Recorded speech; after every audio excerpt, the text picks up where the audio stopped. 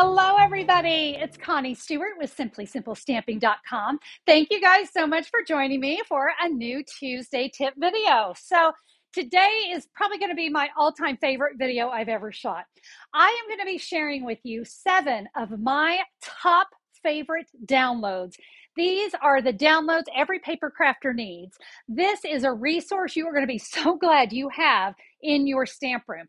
Uh, they're all a little bit different. I'm going to share each one with you, and I've even got a link where you can download and print uh, these uh, fabulous resources for yourself. Are you ready to hear my top seven downloads? Okay, let's get started.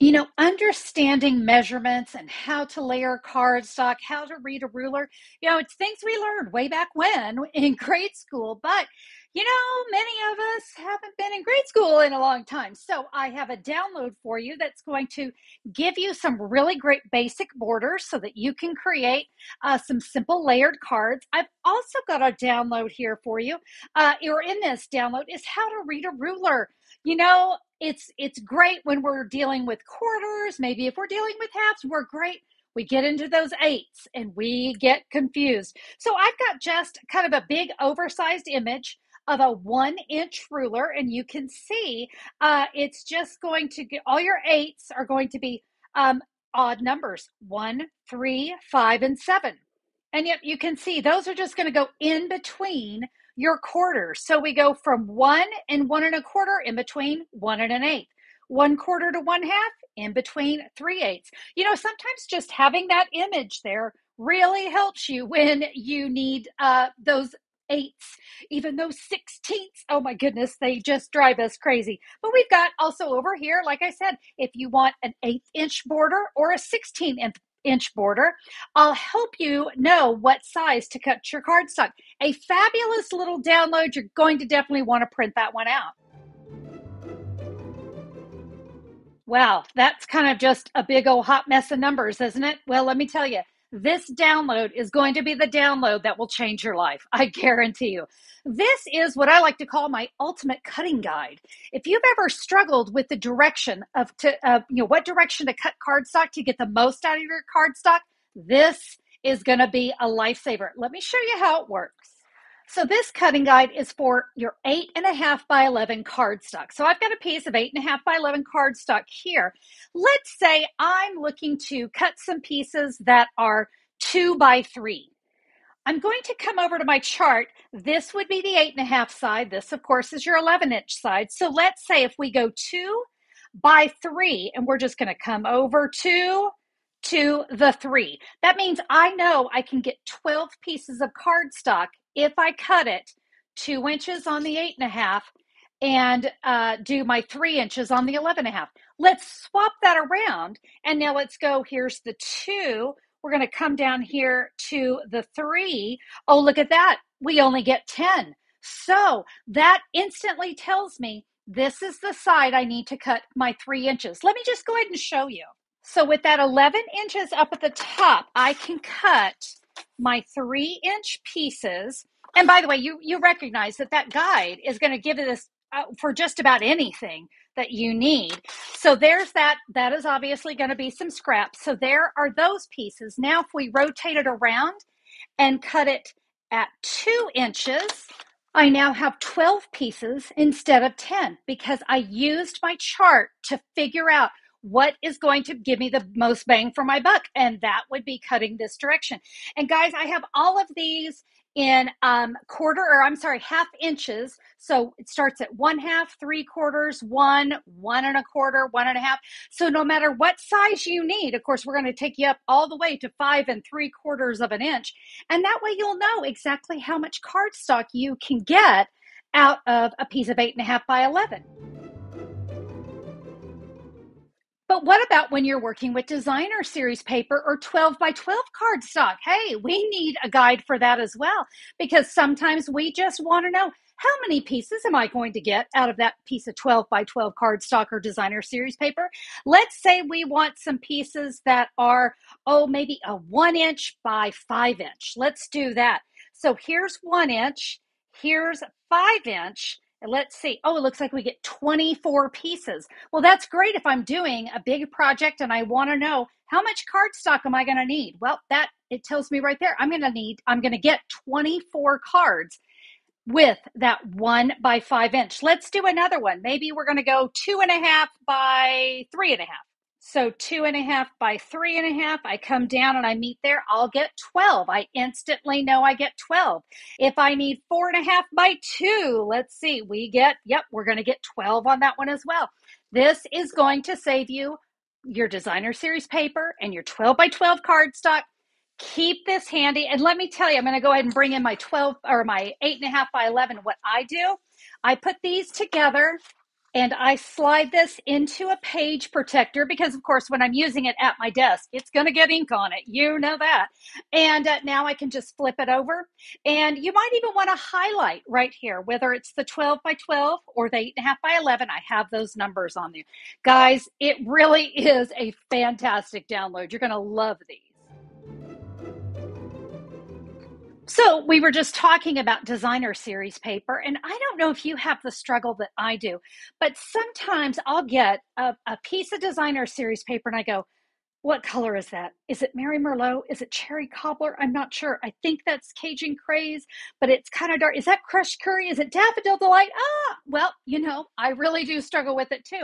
And guys, that's what this chart is going to do for you. So this is for the 22 23 uh, designer series paper. This will cover everything that is in the annual catalog and the July through December catalog.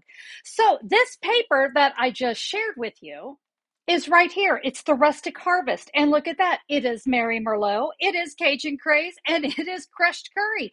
And it's going to have all the colors in that paper. It'll even have the item number and the page number so that if you need to go back and order or if you need to go back and see the uh, the designer series paper, you've got a reference where to go.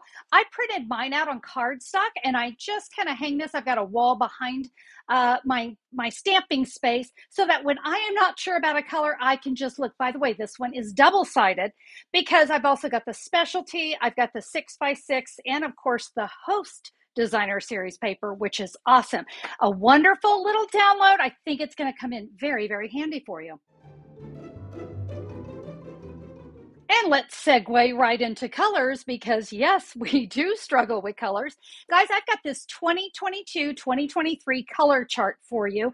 Whenever you're just not sure what color is what, if you have this chart handy, it's going to save you so much trouble because you can go, Sweet sorbet, poppy parade. Well, you know, you'll be able to hold it up here. And right underneath, I've even got the item numbers for the cardstock and the ink pad. So when you're ready to order, maybe you have misplaced your ink pad. Yes, we've all done it.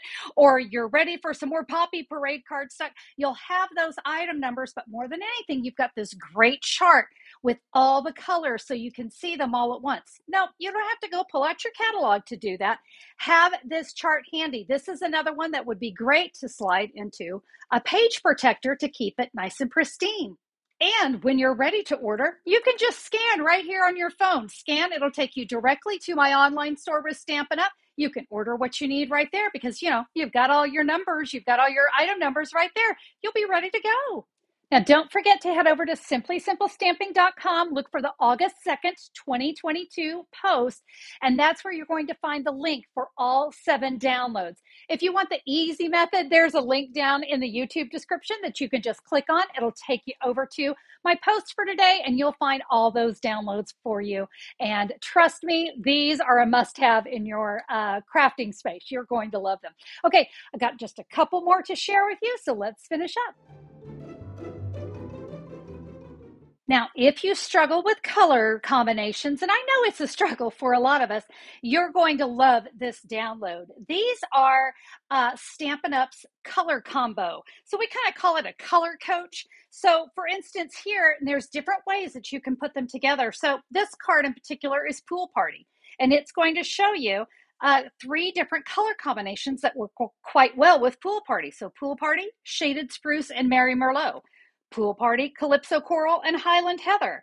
Pool Party, Pacific Point, and Mellow Moss. And you see, I put it here on a piece of Pool Party cardstock. So that makes it even easier. And then you can see, you can just go through, there's my Bermuda Bay, Pacific Point, Coastal Cabana. These are all my brights.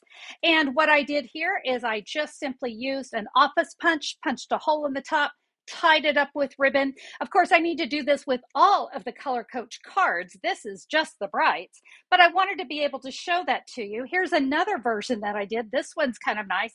I cut it down a little smaller, and these are also double sided. Do you recognize what these are? Badge holders. Guys, you can just order these online. You can find them at an office supply.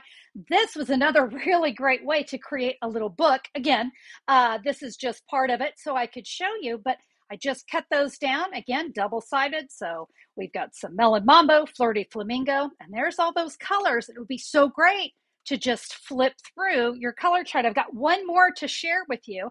And this one is like what I like to call my heavy duty. It's it's really awesome. Now this one, um, these are actually baseball card protectors.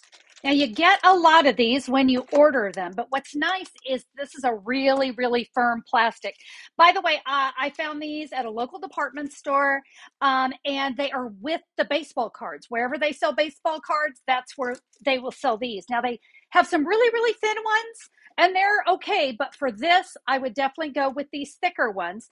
And, uh, you know, I really just cut them just like this, where I layered my color coach pieces onto the matching cardstock. You can see the matching cardstock there and uh, punched a hole. Yes, you can punch a hole. This one I decided to put together with a book clip. So you have some options there as well. You know what else you could do? If you have a color combination that you like, you could either write it in or you could put, uh, punch some circles or images and just put some of your favorite color combinations there as well. Now, let me show you the actual download. So, uh, this one, um, you can see these are all the in colors, but you'll get all of the colors in the download. But I just wanted to bring in these two. There's going to be simple lines for you to cut. You can cut in if you need to. You decide how you want to cut them. But, guys, all 50 colors are in that download. No more worries about color combinations. Take some time, your crafting time, to cut these up and create yourself an awesome and very user friendly color coach. So, yes, I do love my color coach. I use it a lot. But you know what else? I have used this little uh, book of colors quite a bit. I made myself just a simple cover for mine, but I have all of Stampin' Up's colors here in this book. All right. I keep reusing it. I've had it for years. Here is what I do with this. This is four and a quarter by five and a half. So an A2 card size. When I have created an image and I'm looking for what color is that going to look best with, you see I can just flip through my card. Oh, look at that with Rich Razzleberry. That's actually really pretty, isn't it? By the way, I can see it's Rich Razzleberry because I have a free download for you. Yes, you're going to have this is standard um, Avery address labels. You guys probably have sheets of those, um, or you might even be able to go to the office supply and get them printed. But you can see here, You'll put this on the back of your cardstock. It has um, the item number so that you can reorder. But this is what I do is uh, you know sometimes i'm just like i just i just just do not know what color i want to use. And just flipping through my book you know what? I got to tell you guys honestly sometimes i see color combinations i would have never dreamed of. Looks good there on the blackberry bliss actually not even too bad on the petal pink.